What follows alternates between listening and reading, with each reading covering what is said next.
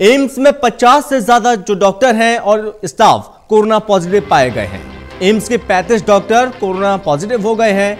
AIIMS के 15 सुरक्षा कर्मी भी कोविड पॉजिटिव पाए गए। इसी के साथ दिल्ली के सर गंगाराम अस्पताल के 37 डॉक्टर कोविड पॉजिटिव हो गए हैं। यानी कि चिंता और ज़्यादा बढ़ रही है। जो फ्रंटलाइन वर्कर हैं, जो डॉक्टर्स हैं, वो भी पॉजिटिव हो रहे हैं। संक्रमित हुए सभी डॉक्टर डॉक्टर जो हैं, वो कोरोना वैक्सीन की दोनों डोज लगवा चुके हैं पहले। इसी के साथ इसके बाद भी अब यहाँ पर कोविड पॉजिटिव यहाँ पर निकलकर सामने आ रहे हैं, जो कि सरकार की चिंता और ज़्यादा बढ़ा रहे हैं। एमसीडी के दो डॉक्टर भी कोरोना पॉजिटिव पाए गए हैं। ये तमाम जानकारी इस वक्त हम आपको दा रहे हैं। और इसी पर ज़्यादा जानकारी के साथ सहयोगी अनिल सिंह हमारे साथ जुड़ गए हैं। अनिल, यहाँ पर वो डॉक्टर जो कि दोनों डोज लगवा चुके हैं। इसके बाद ये समझा जा सकता है कि वैक्सीनेशन के बाद भी बचाव की कोई गारंटी नहीं है।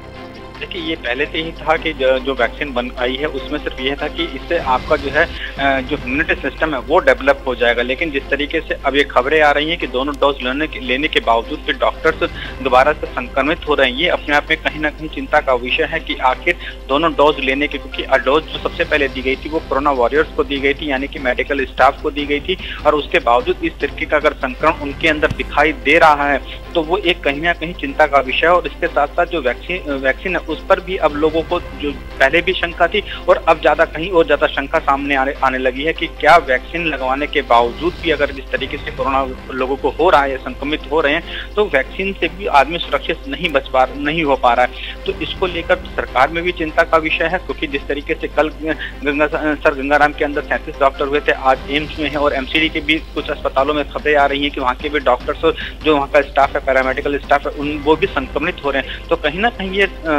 डॉक्टर्स के साथ और प्रशासन के साथ साथ आम जनता के अंदर भी ये एक चिंता का विषय है कि आखिर वैक्सीनेशन करवाने के बावजूद भी, क्योंकि एक तरफ़ ये कहा जा रहा है कि आप ज़्यादा से ज़्यादा वैक्सीन कर लगवाइए, लोगों को से अपील की जा रही है वैक्सीनेशन को बढ़ावा देने की बात हो रही है। वहीं दूसरी तरफ़ इस तरीके के अगर सवाल इस तरीके की जो अगर चीज़ें सामने निकल कर आ रही हैं तो वो कहीं ना कहीं लोगों में शंका पैदा कर रहे हैं कि वैक्सीन लगवाएँ या ना लगवाएँ, क्योंकि एक तरफ़ हो रहा है कि वैक्सीन लगवाने के लोग आ रहे हैं और वैक्सीन, वैक्सीनेशन का नहीं हो पा रहा है। तो वहीं दूसरी तरफ़ इस तरीके की खबरें आ रही हैं तो ये कहीं ना कहीं चिंता का एक विषय सरकार के साथ, आम जनता जनता के लिए भी बनता जा रहा है कि आखिर ये हो क्या है? क्योंकि दिल्ली के अंदर क्या पूरे देश के अंदर संक्रमण की जो दर है वो लगातार एक बार फिर से बढ़ती जा रही है। इससे हम्म। सरकार ने तो कल प्रधानमंत्री ने तमाम तरीकों की अपील की थी लेकिन उसको लेकर जो अपील की गई क्या उसका फॉलोअप हो पा रहा है? क्योंकि जहाँ जहाँ भी रैलियाँ हो रही जहाँ जहाँ चुनाव प्रचार हो रहे हैं वहाँ पर ना तो जो राजनीतिक दल है वो इस चीज़ का फॉलोअप कर रहे हैं और ना ही जनता भी लापरवाह धीरे धीरे होती जा रही है। उसी का खामियाजा की आज सभी लोग एक बार फिर से कोरोना की चपेट में पूरा देश आता हुआ दिखाई दे रहा है।